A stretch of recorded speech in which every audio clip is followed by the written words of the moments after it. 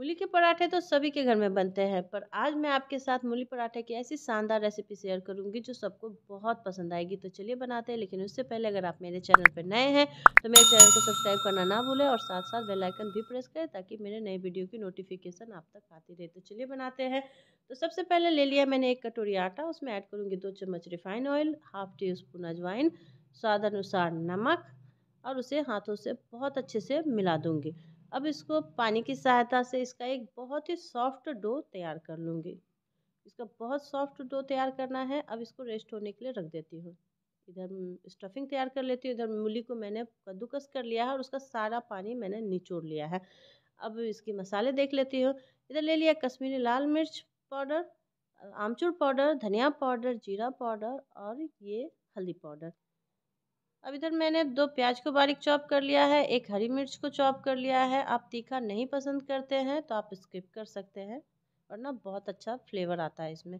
अब एक पैन गरम करूँगी, उसमें ऐड करूँगी दो चम्मच तेल और ए हाफ़ टी स्पून जीरा, दो पिंच हींग के, हींग से जिसको गैस की प्रॉब्लम होती है ना, वो नहीं बनती है तो इसलिए हींग ज़रूर ऐड करें जब मूली के पराठे बनाए तो। उसमें हरी मिर्च अब प्याज डाल के अच्छे से उसे दो तीन मिनट तक सॉटे कर लूँगी। अब सारे मसाले को डाल देती हूँ और उसे भी अच्छे से चलाते हुए तीन से चार मिनट तक अच्छे से भून लूँगी। ये बहुत ही अच्छे से भुन चुकी है।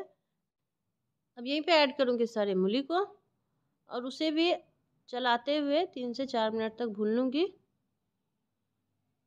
सारे मूली को अच्छे से मैंने मिला दिया है। ऐसे तीन से चार मिनट तक चलाते हुए भून लूँगी। अब इसे ढक के दो से तीन मिनट तक पकने देती हूँ। पकते हुए दो से तीन मिनट हो चुके हैं। इसे अच्छे से फिर से चला देती हूँ। ये बिल्कुल स्टफिंग तैयार हो चुकी है। इसे चलाते हुए दो से तीन मिनट हो चुके हैं। अब यहीं पे मैं गैस का फ्लेम बंद कर दूँगी। बिल्कुल रेडी है स्टफिंग गैस का फ्लेम मैंने बंद कर दिया है। अब यहीं पे मैं धनिया पत्ता ऐड करूँगी।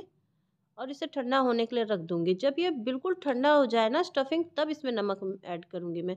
ये बिल्कुल ठंडा हो चुका है, अब यहाँ मैं स्वाद अनुसार नमक ऐड कर दे रही हूँ। बिल्कुल रेडी हो चुकी है स्टफिंग अब इधर डो देख लेती हूँ।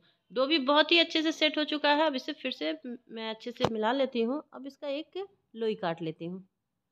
लोई को हथेली पर रख के गोल कर लूँगी राउंड शेप दे दूँगी इसे।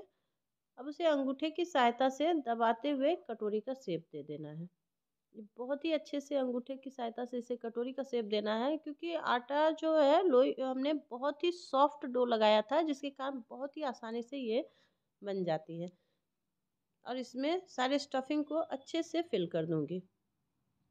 बहुत ही अच्छे से दबा दबा के सारे स्टफिंग को फिल करना है। मैंने सारे स्टफिंग को भर दिया है, अब इसे चारों तरफ़ से दबाते हुए बंद कर दूँगी। इस तरह से चारों तरफ़ से दबाते हुए मैंने बंद कर दिया है। अब इसे फिर से गोल कर देती हूँ। अच्छे से इसे फिर से गोल कर दूँगी। अब आटा छिड़क के पहले उसे हाथों से प्रेस करूँगी। बहुत अच्छे से उसे प्रेस कर दूँगी। अब इसको पराठे का शेप दे दूँगी। इसे अच्छे से बेल के मैं पराठे का शेप दे दे रही हूँ। ताकि चारों तरफ़ मूली हर एक कोने में अच्छे से चली जाए। इस तरह से मैंने बेल दिया है इधर दूसरी तरफ़ मैंने तवा गरम किया और उसमें पराठे डाल के मैं अच्छे से पलट पलट के सेक लूँगी। इसे चारों तरफ़ से मैंने पलट के सेक लिया है। ये बहुत ही अच्छे से सेक चुकी है। अब इसे निकाल लेती हूँ। अब इसी तरह से मैं सारे पराठे को सेक के निकाल लूँगी। बहुत ही अच्छे से पलट पलट के सेक लूँगी। ये बिल्कुल रेडी है मूली के चटपटे पराठे।